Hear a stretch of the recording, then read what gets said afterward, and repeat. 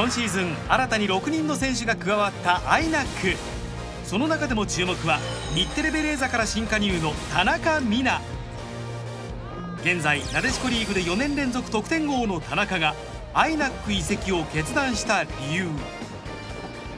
やっぱ一番は東京五輪で活躍することがあって、まあ、その中で自分がどうしたらいいかって考えた時の移籍だったんで、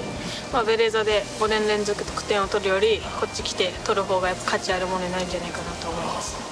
まあ、でも本当に今目指してるとか東京五輪なんで、まあ、そこで本当に大きな結果残して、まあ、チームに貢献できることが今の一番の目標です。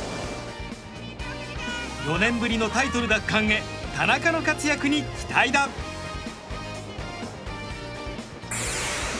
そして20日神戸の住吉小学校で行われたネスレヘルシーキッズプログラム。選手と子どもたちは栄養と運動について一緒に楽しみながら学んだ。